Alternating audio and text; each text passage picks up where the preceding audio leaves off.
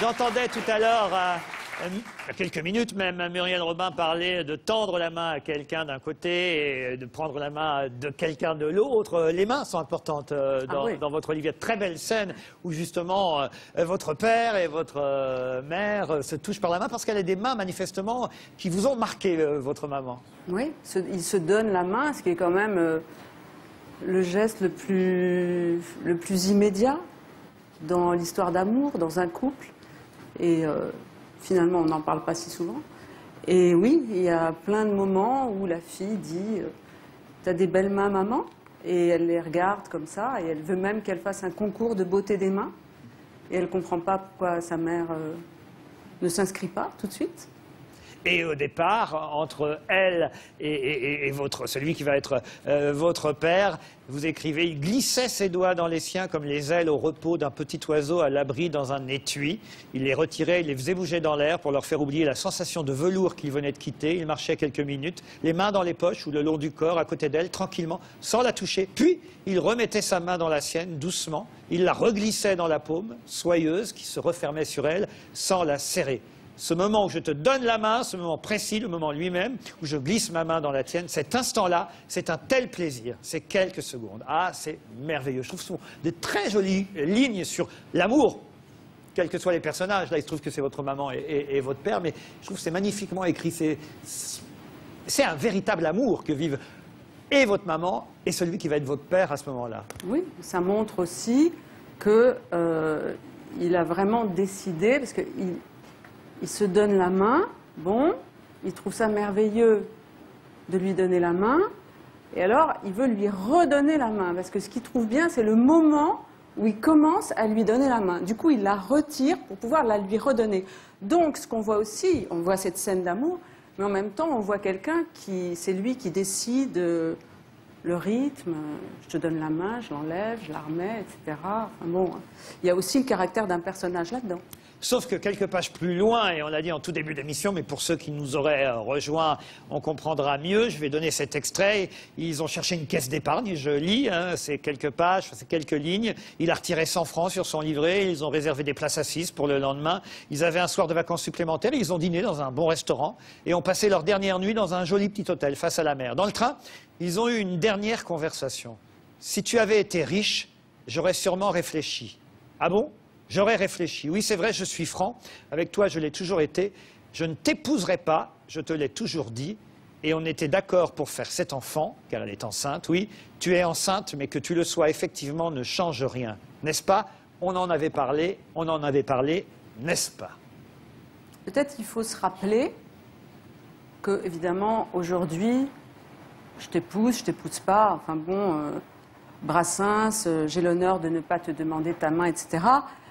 Là, on est dans un moment où une femme, si elle est enceinte, c'est une véritable humiliation de lui dire je ne t'épouserai pas. Surtout que l'enfant n'est pas un accident, c'est un enfant désiré par les deux. Eh oui. Donc là, lui dire voilà, euh, je suis très bien avec toi, etc. Continuons de nous voir, mais voilà, je ne t'épouserai pas, hein, et tu le savais, etc. Tu prends tes responsabilités. Moi, je t'ai toujours dit que c'était comme ça. Mais à cette époque, c'est une. euh, Aujourd'hui, on a oublié. On a oublié parce que ça a été très vite. Euh, les choses ont complètement bougé. La respectabilité, c'est, elle se tourne autrement maintenant. Il la soupçonne vraiment de vouloir entrer dans sa famille pour justement socialement s'élever, euh, votre mère? Ah bah, c'est l'évidence. Euh, lui, euh, sa famille, la mère, Lui ou sa famille? tout le monde. Tout le monde. Et l'enjeu, ce qui peut l'intéresser aussi, c'est de la séduire. Il y a beaucoup de gens hein, qui font ça. hein. C'est de la séduire pour lui montrer que, ah oui, tu viens, tu vois, tu viens là, tu viens, viens, viens là, viens. Voilà, viens, c'est bien, là tu t'arrêtes. OK? Voilà. Hein Donc ça, c'est aussi la séduction, ça peut être aussi faire venir quelqu'un à soi pour lui montrer où il va s'arrêter. Donc ça, ça fait partie du truc, hein, ça, dans, dans son désir de, de- de cette femme, qui est socialement moins bien, comme dit la mère, j'étais socialement moins bien. Euh, il y a aussi pour lui une jouissance à se dire, ouais, je la rends amoureuse, elle vient, mais bon, Sauf que je ne changerai pas ma ligne.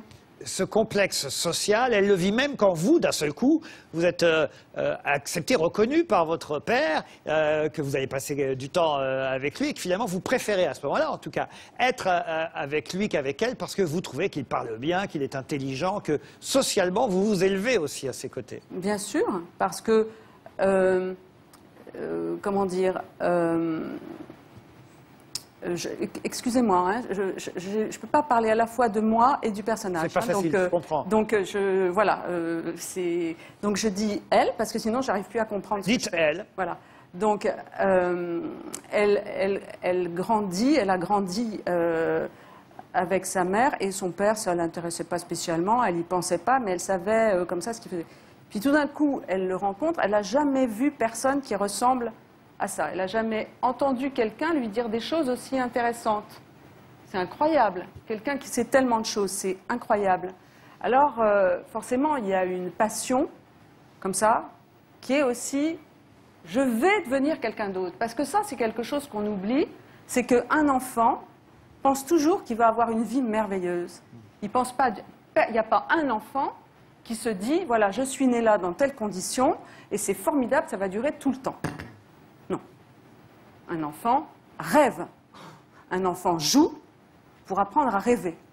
Et un enfant rêve. Et donc, si tout d'un coup, il y a ce père qui arrive et qui lui signifie que euh, sa vie va changer, alors évidemment, c'est...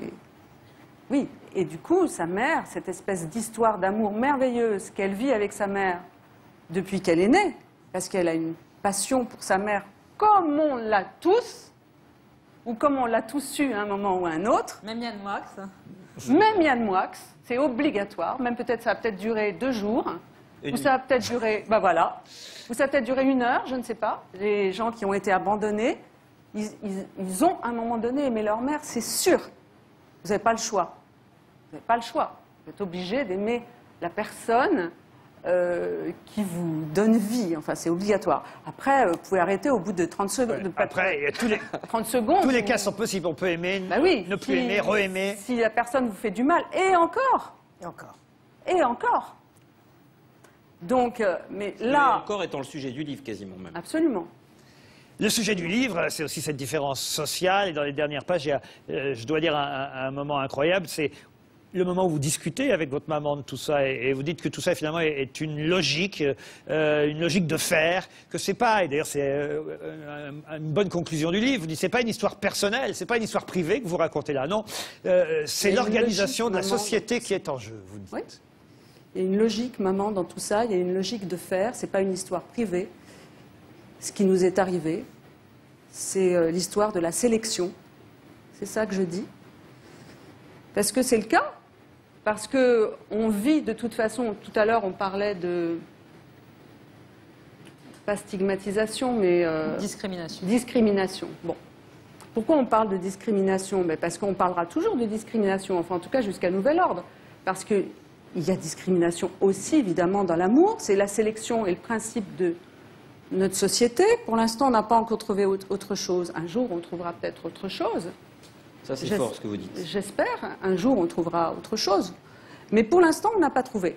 Hein, on a sélectionné. On a... Il y a des gens qu'on élimine comme ça régulièrement. Tac, euh, ceux-là, bah, tiens, on n'a qu'à éliminer ceux-là. C'est comme ça. C'est ainsi, ça fonctionne comme ça. Très bien. L'idée, c'est d'introduire des nuances pour que certains, peut-être, certaines sociétés discriminent moins.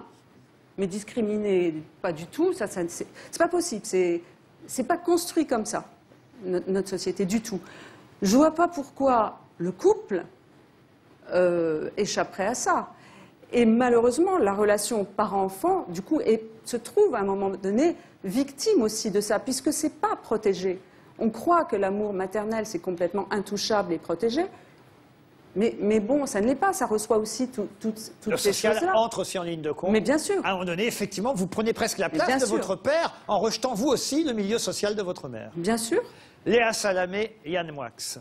Un amour impossible. Léa d'abord. D'abord, ça fait plaisir de vous voir sourire, Christine Angot.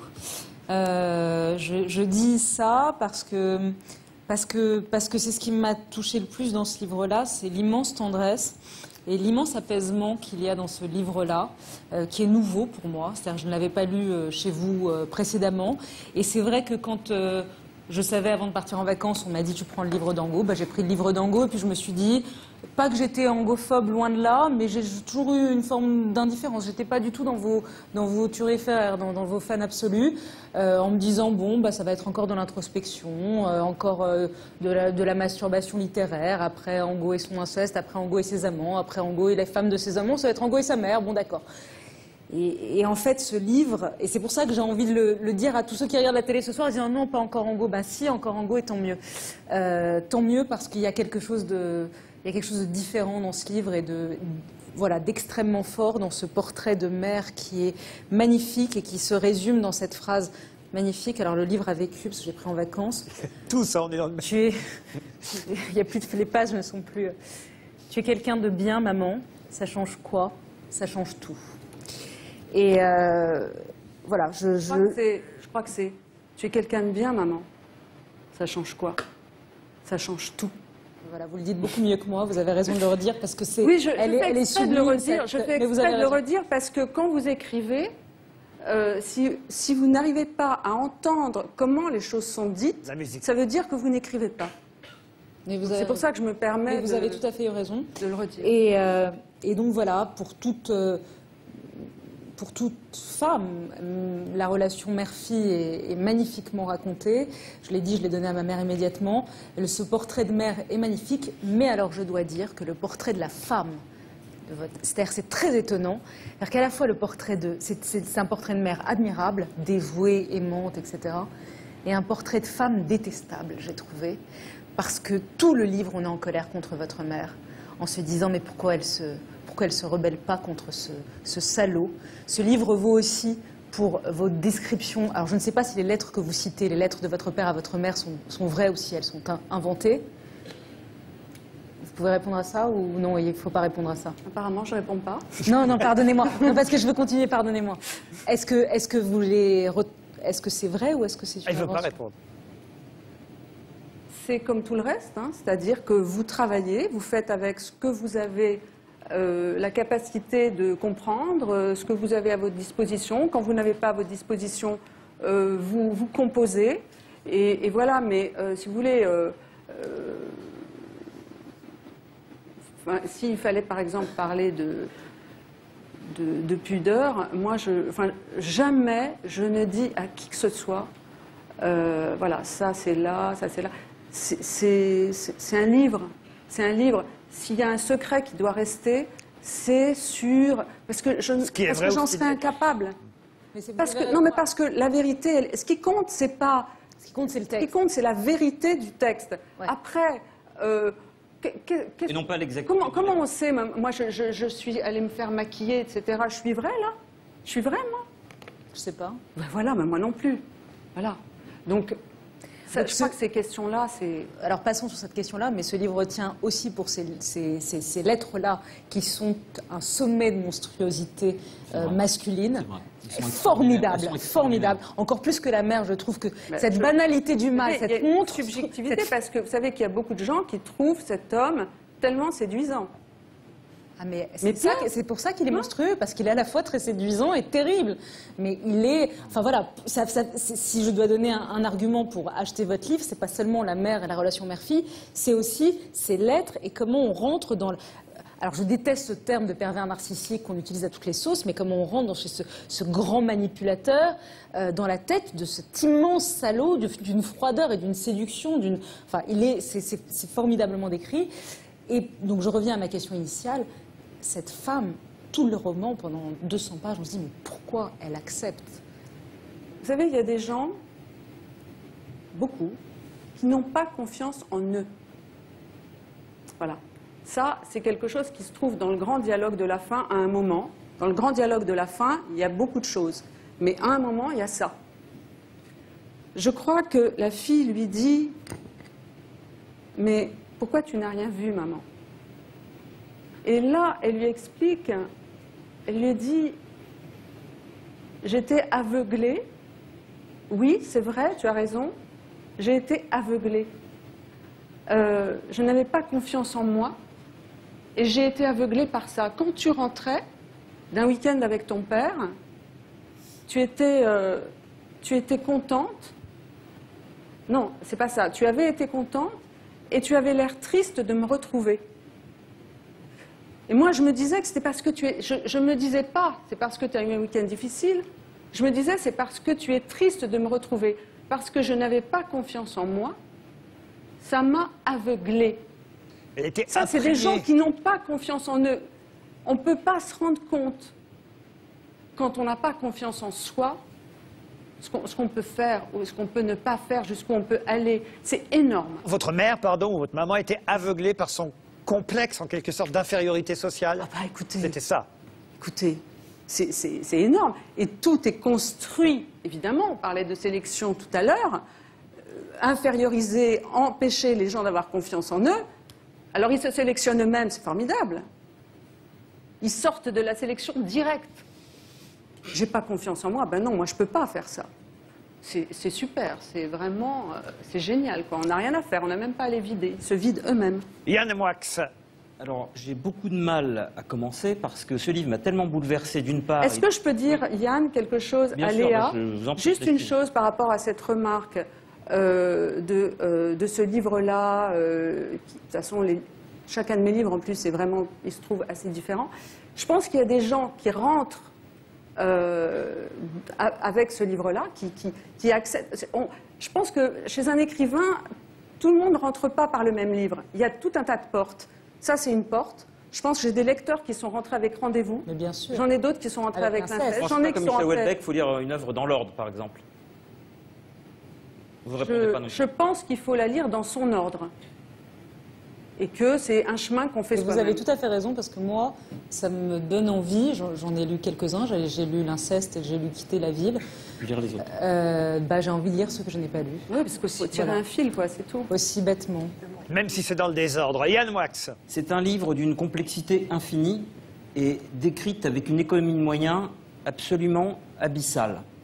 Donc, si vous voulez, il y a une distorsion entre la complexité, le contenu, qui est d'une puissance de feu inouïe, et la simplicité de l'écriture.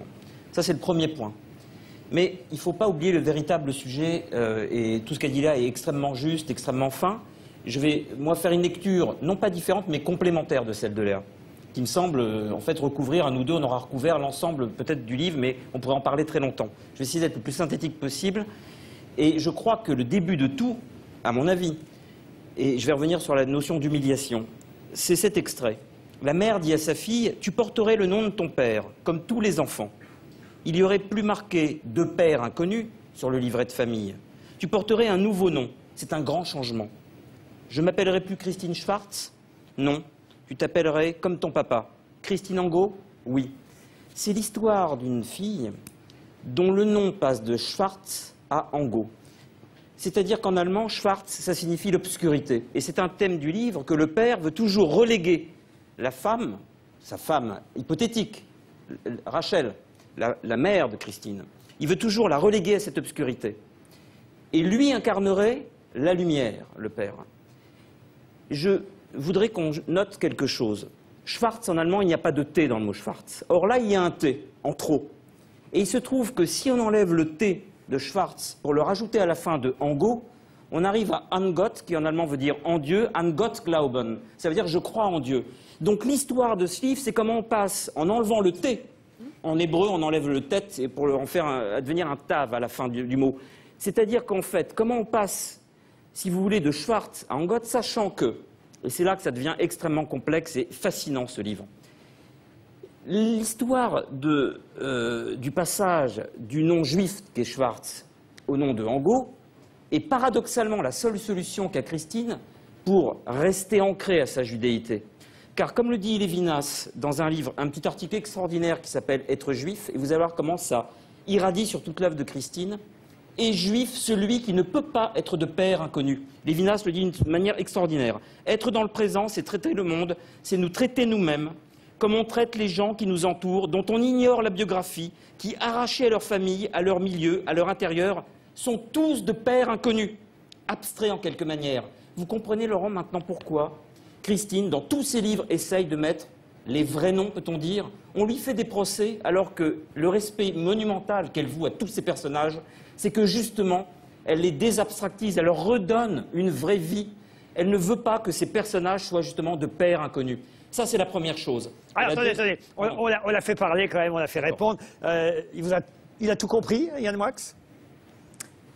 Euh, en tout cas, bon, c'est cette histoire de, de Sch- Schwarzengo. Vous voyez, il y a quelque chose même pour vous dire à quel point ce nom, je l'ai perdu. On m'a appelé comme ça à l'école jusqu'à l'âge de 14 ans. Je ne sais même plus comment je le prononce. Est-ce que je dis Schwartz? Est-ce que je dis Schwartz? Je ne sais plus. Je ne sais plus. Voilà. Et alors, j'ai beaucoup aimé euh, que vous disiez à l'instant euh, l'œuvre de Christine. Ce serait drôlement bien. Ça me plaît beaucoup. De garder seulement le prénom? Ouais. Ouais. Ça serait vraiment bien. Donc, évidemment qu'il y a des choses qui se jouent autour de ces histoires de noms, de noms qui sont euh, fondamentales. Et même euh, sur la question de Schwartz, qui veut dire noir, évidemment, dans le marché des amants, il était question non pas de l'histoire de Christine Angot avec Doc Gineco, non, il était question de l'histoire de ce Schwartz qui essaye de retomber sur ses pieds avec un homme noir. Hein? Et justement, pour peut-être rejoindre cette question de euh, la sélection, de euh, être euh, euh, rejeté de- de- du, du milieu, euh, euh, enfin voilà, des gens qui ne peuvent pas soi-disant aller ensemble, etc. Qu'est-ce qu'on en sait? On- Vous le savez, vous, les gens qui sont faits pour aller ensemble? Bon, voilà.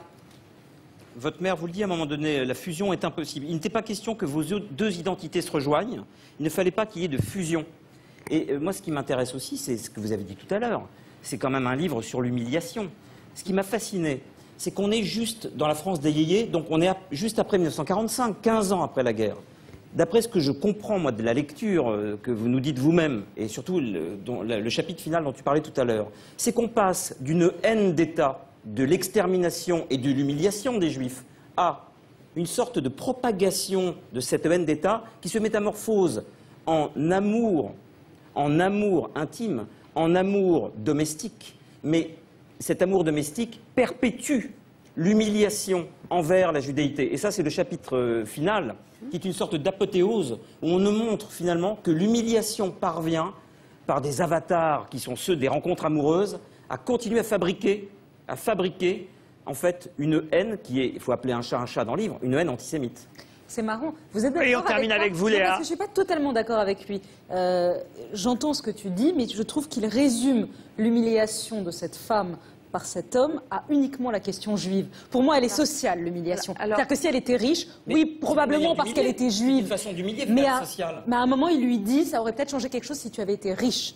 Et si elle ne faisait pas de faute de français, et si elle avait de bonnes manières, peut-être qu'il aurait pu, d'ailleurs. qu'il aurait pu l'assumer. Je trouve que, pardon, hein, c'est Oui, un tropisme, donc je l'entends, mais résumer ces 30 dernières pages qui sont l'explication de toute l'œuvre de Christine, euh, à mon avis, en tout cas de, de- de beaucoup de choses et qui sont à couper le souffle, il faut aller jusqu'aux dernières 30 dernières pages, euh, ce serait euh, euh, limité que de ne les résumer qu'à la, qu'à la judéité. Non, mais vous avez Le tous mot de la fin, c'est Non, vous. mais vous avez Pierre tout- et Rachel quand même. hein. Pierre, c'est quand même juste une question. euh, c'est important parce que après je termine. Pierre, c'est quand même celui qui, dans l'acte des apôtres, accuse les Juifs d'être déicides, d'avoir assassiné Jésus. Et Rachel, c'est quand même le symbole de l'exode chez les Juifs. Donc il y a Non, mais- quand même une altercation des noms qui est importante que vous Non, mais l'ayez voulu. vous avez- non, mais vous avez, pardon, mais vous avez tous les deux raison, mais vraiment. Mais vraiment, c'est très important. C'est-à-dire que, va. Que dans ce que dit euh, Yann par rapport euh, à la question, euh, oui, ça s'appelle comme ça, la question juive, et de la judéité comme, euh, oui, bon, bah tiens, ça te fera pas de mal, j'épouse une Allemande, etc. Et puis, On n'a pas parlé, mais il y a voilà. le- Et donc, et donc la question de la judéité est abordée très peu, comme ça, à la fin, dans un dialogue. Euh, la fille lui dit, mais il parlait des juifs quelquefois, mon père? Euh, oui, quelquefois, et c'était pas tellement, voilà. Enfin bref, et puis elle dit des petits trucs comme ça. Donc oui, mais c'est central, mais dans toutes les questions, enfin une personne n'est jamais que juive, ou n'est jamais que femme, ou n'est jamais que pauvre, ou n'est jamais que employée de sécurité sociale, ou n'est jamais que belle. Voilà. Donc c'est ça. Et en effet, dans, dans ce livre, remettre en vie, je parlais de remettre en vie les choses passées, c'est aussi les, les, les, ajouter les unes aux autres, mais en essayant d'y voir clair. Alors que dans la vie, on a l'habitude que les choses soient agglutinées les unes aux autres, sauf qu'on n'y comprend rien. Puisqu'ils ont si bien parlé de votre livre, et l'un et l'autre, Léa Salamé et Yann Moix, j'ai envie de vous poser une dernière question. Bon, mais est-ce que vous comprenez qu'on puisse aimer lire Christine Angot et aimer lire Welbeck. Parce que là, au fond, c'est ce qui s'est passé ce soir.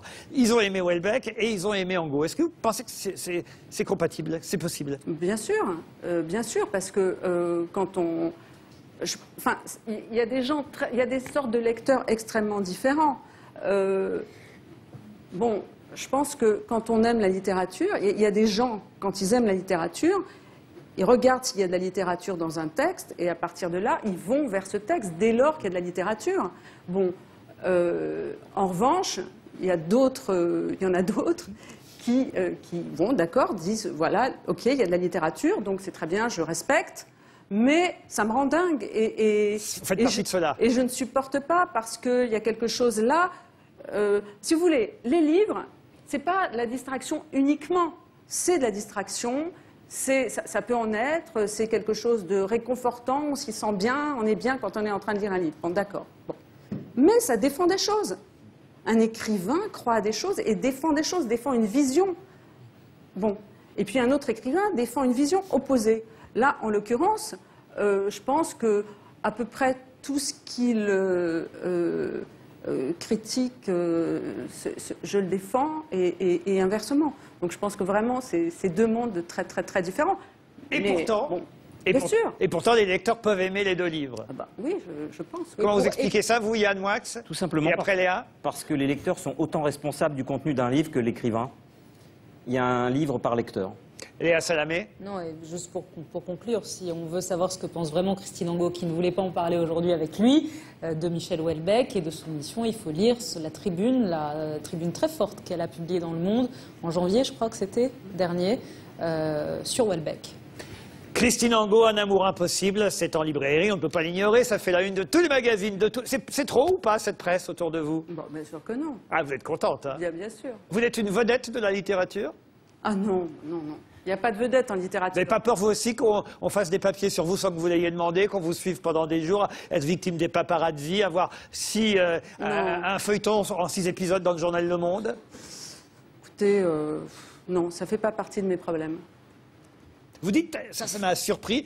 Euh, j'aime bien aussi être insupportable. Vous avez cette réputation d'être ingérable, d'avoir des exigences. Oui, oui, oui. J'ai dit ça ou je l'ai écrit? Ah, Vous l'avez dit, je crois, dans une interview.